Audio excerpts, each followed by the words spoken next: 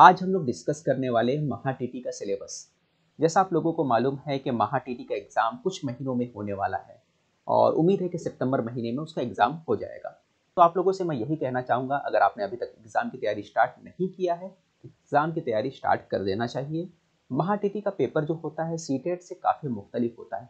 महा टीटी का मैथ्स भी देखा जाए तो सी के मुकाबले में थोड़ा डिफरेंट होता है, थोड़ा इसका लेवल ज़्यादा होता है, ज़्यादा टफ बोल सकते हो उसके मुकाबले, ठीक है? अगर वो अस्सी है तो ये सौ है। इस तरह से सो सकते हैं आप।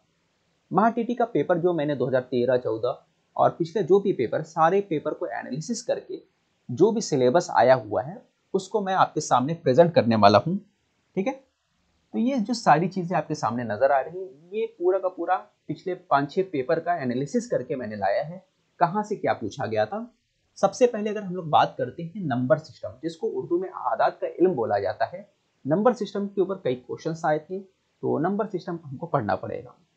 दूसरा जो चैप्टर होता है हमारा सिंप्लीफिकेशन, हमको सिंप्लीफिकेशन पढ़ना पड़ेगा। सिंप्लीफिकेशन में क्या होता है? प्लस माइनस मल्टीप्लाई डिवाइड करना, ये सब सिंप्लीफिकेशन में आता है, जिसको उर्दू में बोले नफा जर्ब करना, तकसीम करना चीज़ें होती हैं, ठीक है? तीसरा जो हो गया आपका एलसीएम, एससीएफ, जो हो गया आपका, इंग्लिश में बोला जाता है, उर्दू में उसी को मुस्तरक जोजाफ़ अक्ल मुस्तरक मुस्तरक आदि आज़म और मुस्तरक जोजाफ़ अक्ल बोला जाता है, ये चीज़ें आपको पूछी गई थी एग्ज़ाम में। याद रखिए सी में जहाँ पैडागोजी पूछता है, वहीं महा टी के अंदर, मैथ्स के सेक्शन के अंदर पैडागोजी नहीं आता है। नंबर सीरीज़ नंबर सीरीज़ का जो क्वेश्चन होता है, आपको मालूम होगा, दो चार नंबर दे देगा, बीच में से एक नंबर गायब कर देता है, वो नंबर सीरीज़ कहलाता है। ठीक है, अगला टर्म क्या होगा, अगला नंबर क्या होगा, वो नंबर सीरीज़ के क्वेश्चन आते हैं। फिर आगे हम लोग देखते हैं कि मैंसुरेशन इसके ऊपर भी कुछ सवाल पूछा गया था मैंसुरेशन उसको उर्दू में मसाहत बोलते हैं और जिसके अंदर सवाल जो होते हैं एरिया वॉल्यूम के होते हैं और उर्दू में बोले तो रकबा और हजम हमें मालूम करना रहता है। और किताब अगर बात करें तो नौवीं और दसवीं की जो किताबें हैं, उसके अंदर आपको माशा बोर्ड में मिल जाएगा। एलसीएम एसएफ की बात करें, माशा बोर्ड में कहाँ मिलेगा? तो सातवीं क्लास में आपको एलसीएम एसएफ मिल जाएगा। परसेंटेज फ़ीसदी की बात कर लेते हैं तो परसेंटेज के ऊपर भी क्वेश्चन पूछा गया था और साथ ही साथ प्रॉफिट एंड लॉस यानी कि नफा और नुकसान के ऊपर भी क्वेश्चन पूछे गए थे। ठीक है? प्रॉफिट लॉस के बाद एज एज जो उम्र मालूम करने वाले क्वेश्चन होते वो भी यहाँ पर पूछे गए थे एज मालूम करने वाले क्वेश्चन एक बार ये भी बताता चलूँ आपको कि सी का पेपर जहाँ इंग्लिश और हिंदी में होता है पेपर का जो लैंग्वेज वहीं महाटिकी का पेपर का लैंग्वेज इंग्लिश और उर्दू में आपको मिलता है। यानी आप पेपर को इंग्लिश लैंग्वेज में भी नज़र आएगा आपको और उर्दू लैंग्वेज में भी नज़र आएगा। टाइम स्पीड डिस्टेंस वक्त, रफ्तार और फासला। ये भी इस जो चैप्टर से यहाँ से भी सवाल पूछे गए थे।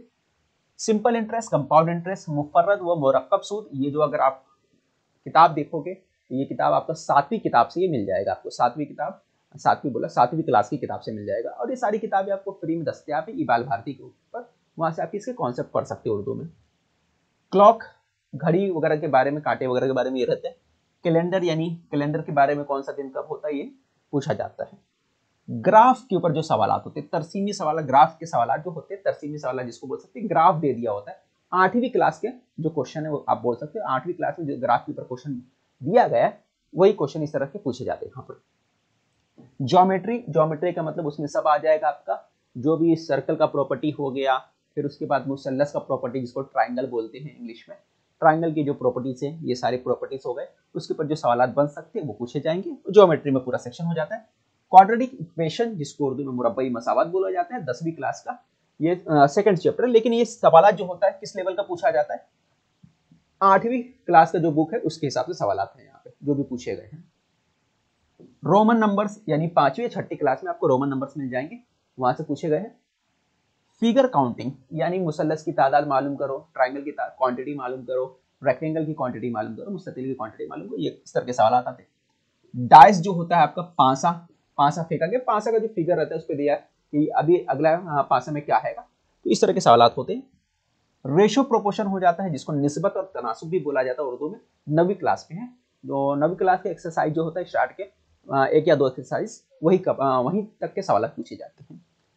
एवरेज जो होता है आपका औसत निकालना तो ये भी शायद आठवीं या सातवीं क्लास में है एवरेज ये भी आप देख सकते हो।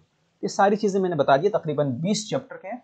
और ऐसा नहीं कि सारे के सारे एक ही बार पेपर में पूछा है। कुछ ऐसा था कि जैसे 2016 में कुछ क्वेश्चन पूछे गए हैं डाइस वगैरह का क्वेश्चन शायद एक ही बार आया है 2016 या 15 में आया है। इसी तरह आ, कुछ क्वेश्चंस और अगर हम लोग ले लेते हैं डाइस के अलावा क्या आप ले सकते हैं कैलेंडर तो लगातार आया। कैलेंडर एक ऐसा है रिपीट किया गया बार बार साथ ही साथ रफ्तार रफ्तार वाला जो क्वेश्चन है, वक्त, रफ्तार और फासला, ये भी बहुत कम पूछा गया है। जो कंटिन्यू क्वेश्चन आया, अगर उसकी बात करें हम लोग तो कुछ जो है चैप्टर बहुत ज़्यादा इंपॉर्टेंट जो लगातार क्वेश्चन पूछता है। इसके ऊपर पूछता है क्वेश्चन ठीक है? बार बार आते हैं। यहाँ से क्वेश्चन बार बार आ रहा है, यहाँ से क्वेश्चन आ रहा है। इन दोनों चैप्टर से क्वेश्चन बार बार रिपीट कर रहा है, ठीक है? और कहाँ से कर रहा है? ये पूरा इंपॉर्टेंट है, इससे रिपीट कर रहा है बार बार यहाँ से रिपीट हो रहा है। मैंसुरेशन से क्वेश्चन रहते ही रहता है। परसेंटेज से क्वेश्चन रहेगा आपका। प्रॉफिट, लॉस और यहाँ से क्वेश्चन रिपीट हो रहा है आपका। ठीक है? तो ये कुछ चैप्टर जहाँ से बार बार क्वेश्चन रिपीट कर रहा है। फिगर जो है, फिगर बहुत कम क्वेश्चन पूछ रहा है। ये इतना इंपॉर्टेंट नहीं। डाइस भी बहुत कम क्वेश्चन पूछ रहा है इतना इंपॉर्टेंट नहीं। रोमन नंबर भी पूछता है अक्सर एग्ज़ाम में। तो रोमन नंबर भी इंपॉर्टेंट है। कुछ चौदह पंद्रह ऐसे हैं जो चैप्टर बार बार पूछ रहा है और दो चार चैप्टर ऐसे हैं जो कभी कभी पूछा रैंडमली पूछा है, कभी पूछा है तो कभी नहीं पूछा है। ठीक है? तो ये बेसिक पूरे के पूरे जितने चैप्टर हैं, मैंने आपको बता दिया, इसकी आपको स्टडी करना है। तो सोच लीजिए, अगर इतने ज़्यादा स्टडी आपको करनी है तो कितने दिनों में हो पाएगा? तो इसका यही है कि भाई, आपको कम से कम दो महीना वक्त देना पड़ेगा। अगर दो महीना सही से अगर वक्त दोगे तो मैथ्स की तैयारी हो पाएगी। इसी तरह इंग्लिश वगैरह का भी मामला है, उसका भी जल्द ही मैं पूरा का पूरा सिलेबस लाने वाला, एक चीज़ पर हम लोग डिस्कस करने वाले हैं। मैं आपको ये भी बताता चलूँ कि हम लोग ना महा टी पेपर फ़र्स्ट और पेपर सेकेंड का बैच लाने वाले हैं। उस बैच को आप ज्वाइन कर सकते हो। सी टेट का अगर आंसर की आता है, अगर आप कुछ प्रॉब्लम होता है, आप पास नहीं हो पा रहे तो मैं आपसे ये कहना चाहूँगा कि आप महा टी कम से कम पास करके रखिए, ताकि आपको टैट का जो एग्ज़ाम होगा दिसंबर के अंदर, उसमें आपको चांस मिल जाए। टैट जो दिसंबर में होने वाला है, उसके अंदर आपको चांस मिल जाए। याद रखिए, अगर आप टैट एग्ज़ाम देना चाहते हो टैट एग्ज़ाम अगर बच्चों आप देना चाहते हो तो टैट एग्ज़ाम जो है, बहुत ज़्यादा इंपॉर्टेंट है। टैट से क्या मिलता है? जॉब मिलता है डायरेक्ट आपको।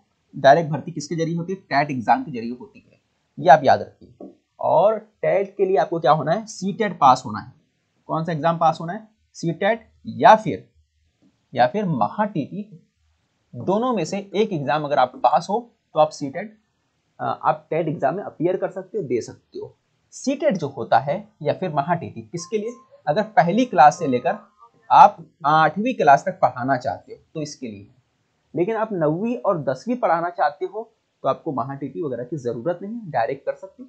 लेकिन याद रखिए, दसवीं, नौवीं और दसवीं के लिए जो वैकेंसियाँ होती है, बहुत ना होती है, ना के बराबर होता है, ठीक है? इसलिए आप कैसे भी करके आपको क्या करना है, पहले से अगर आठवीं तक जाना है तो आपको पास करना है। और याद रखिए, अगर आप पहली से पांचवी पढ़ाना चाहते तो सीटेड या टीटी तो आपको कंपलसरी पास करके ही जाना है। हमारा बैच स्टार्ट होने वाला है बैच आप हमारे एप्लीकेशन से ज्वाइन कर सकते हो।